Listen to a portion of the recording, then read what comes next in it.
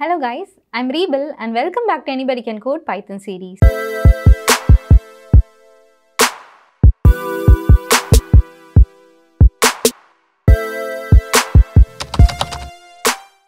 Today we'll be discussing about decision making statements in Python. But before that, let me show you a program to check for voting eligibility. Let's give 22. Do you have your voter ID? Let's give yes. As you just saw, on giving 22, the compiler has written that you are eligible to vote. Now let's rerun and try giving some other age, say 17.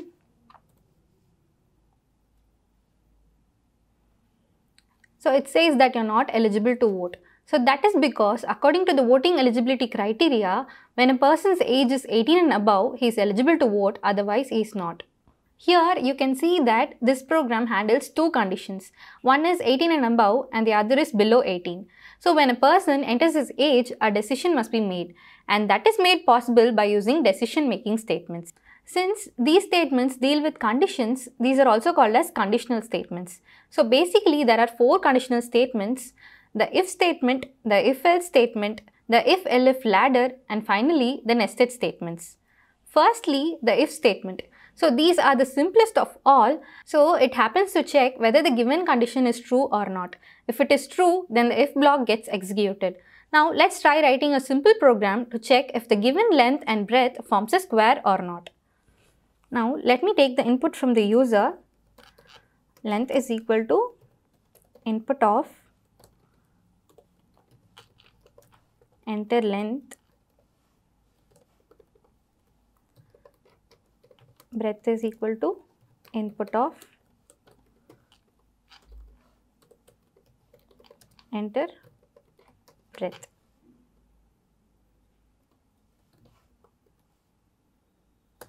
And now we all know that the square has equal length and breadth. So let's use that as the if condition here.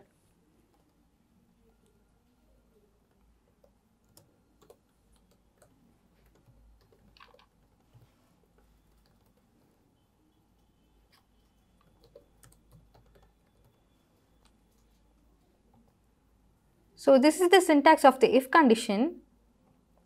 Now let's implement it in our program.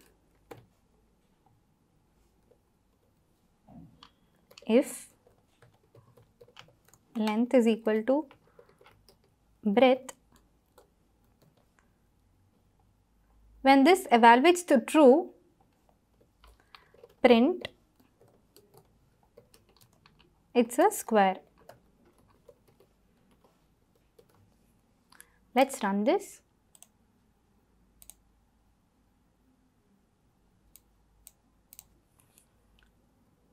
I'll give 5, breadth also 5.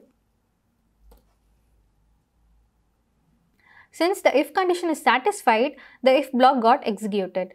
Now let's rerun this and give different values 6, 7, As you just saw, it doesn't return anything. So that is because we haven't written any code for that. In such a case, you can use an if-else statement. So this is the syntax of an if-else statement. Basically, on using an if-else statement, whenever the if condition fails, the else block gets executed. So here is how it can be done. Else print it's a rectangle. Let's run and see. 7,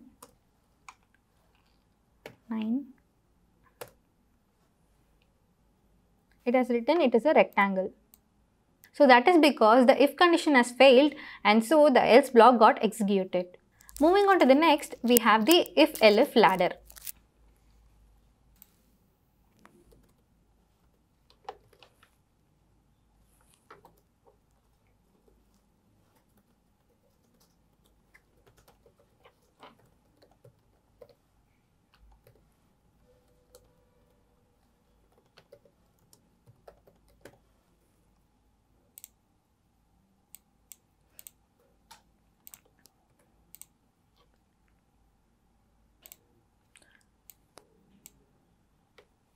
So guys, this is the basic syntax of an if-elif ladder in Python. The elif statement works just the same as the else if statement in other programming languages.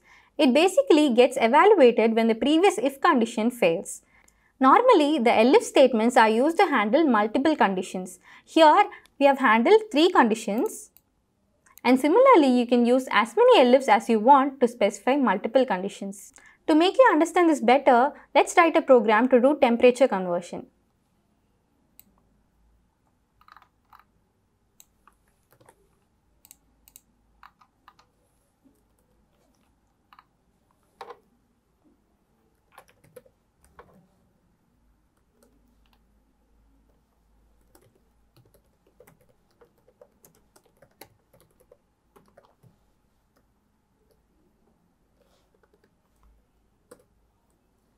Firstly, you need to get an input from the user asking him to enter a temperature. Temp is equal to input of enter a temperature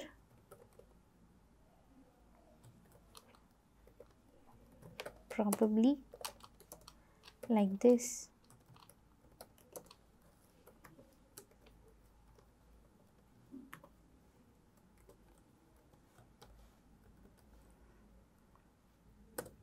So, if the user enters a temperature in Fahrenheit, then that must be converted into Celsius value. Suppose if he enters a Celsius value, then that must be converted into Fahrenheit. So, here if you see there is an integer part as well as an alphabet that denotes the type of the temperature. But we only want the integer part for further calculations. So, let's fetch that alone and store it in another variable. Integer value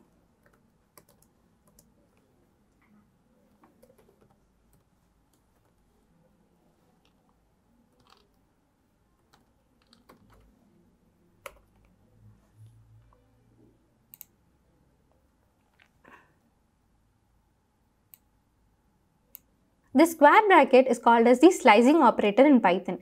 So this is used to slice only the last element. The last element is specified as minus 1 in Python because the indexing starts from minus 1 when counted backwards. So by using this command, we can fetch only the last element. And also, let's save the last element in another variable. Degrees is equal to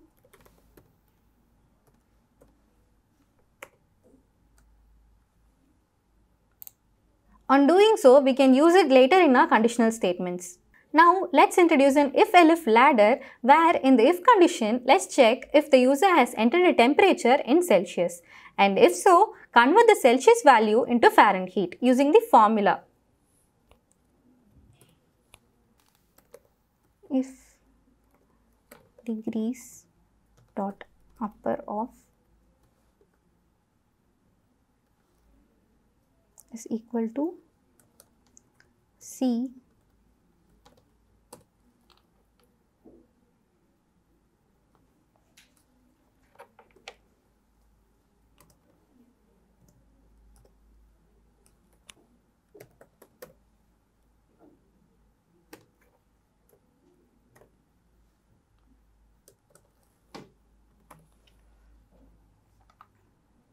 So this is the formula written in normal terms. Let's see how to write it in Python.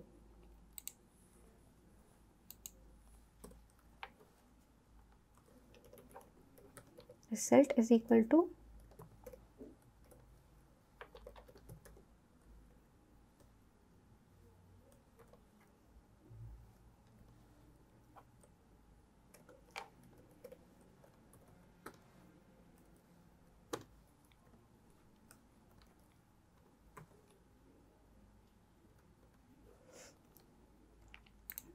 If you see, according to the operator precedence rule, the values that are enclosed within a parenthesis gets evaluated first followed by the other operators. So in this expression, this value gets evaluated first and then it evaluates the rest of the operators.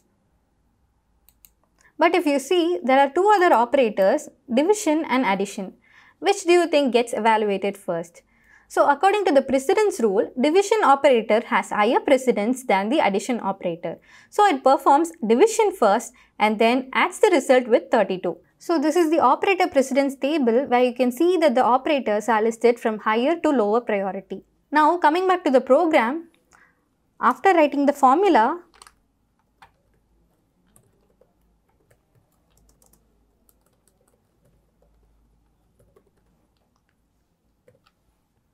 just specify the value Fahrenheit in the variable conversion. And after that, let's introduce an elif statement to check if the user has entered the temperature in Fahrenheit. elif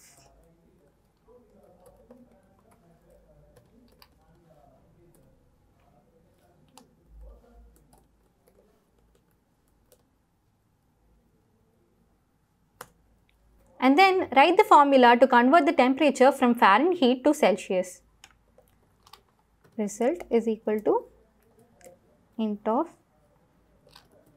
round off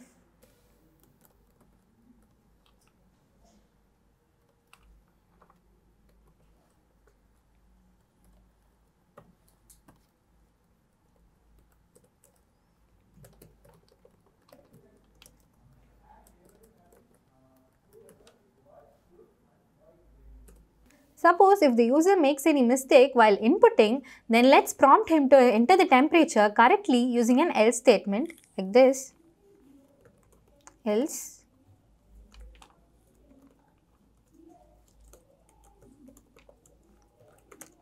Enter the input correctly.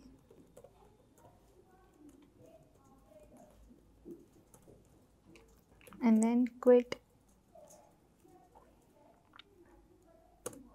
and then display the converted temperature by using a simple print function. Print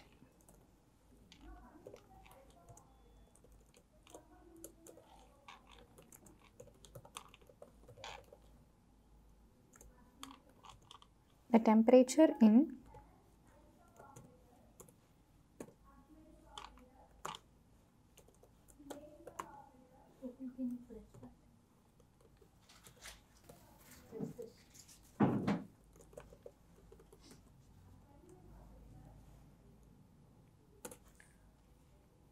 Now let's run and see if all the conditions works fine.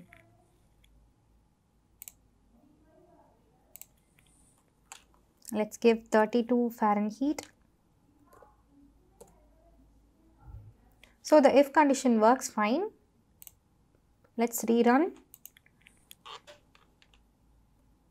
I'll give 0 Celsius. So the elif condition also works fine. Now let's give 34. And here the else condition also works fine. So that is how the if-elif ladder works in Python. Likewise, you can use an if-elif ladder inside another if-elif ladder and that is called as nesting statements in Python. You can also nest any such statements in Python. And here in this program, I will add another if-elif ladder to display the climate based on the temperature given in Celsius. Since it is about Celsius, we have to write the if-elif ladder inside the elif block.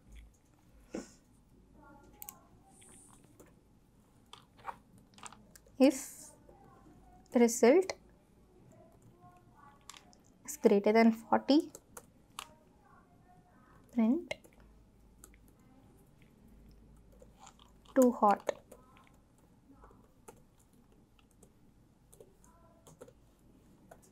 elif result greater than 20 and result lesser than 40 print pleasant.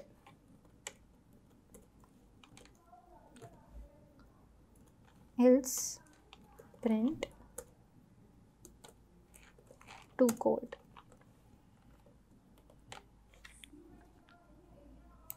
Let's now run this. Let's give a Fahrenheit value. It has written too cold because the Celsius value is below 5 degrees. So that is how nested statement works in Python. And guys, there is an amazing feature in Python called as ternary operator which will allow us to write the same code in just a single line or two. The ternary operator evaluates like this.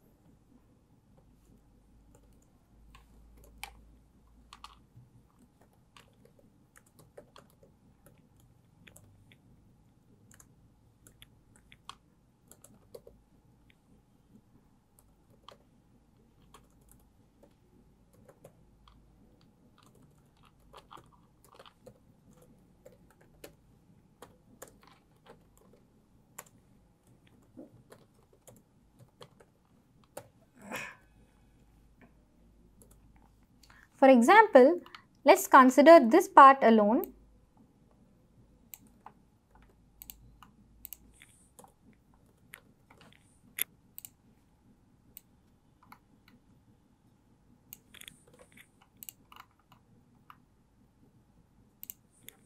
We'll get the input from the user. Result is equal to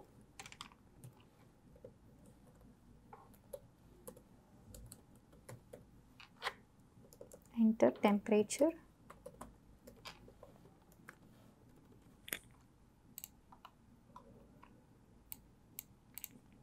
So on using ternary operator, this code can be written like this. Print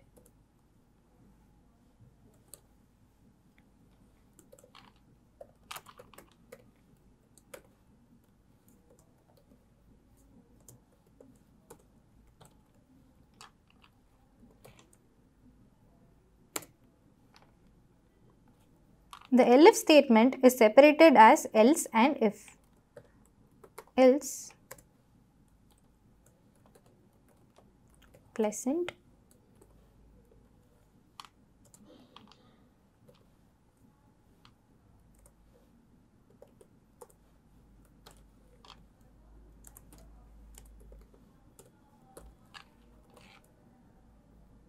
Now let's see how this ternary operator turns out.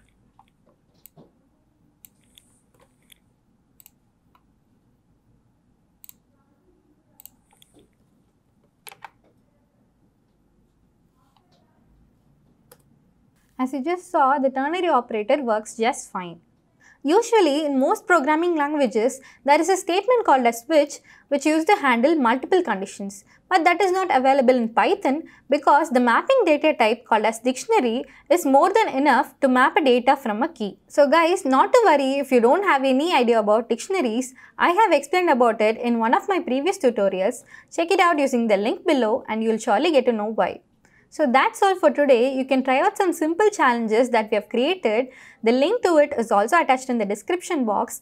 And next, in the next tutorial, we'll be discussing about Python loops. So stay tuned and don't forget to subscribe. See you all in the next.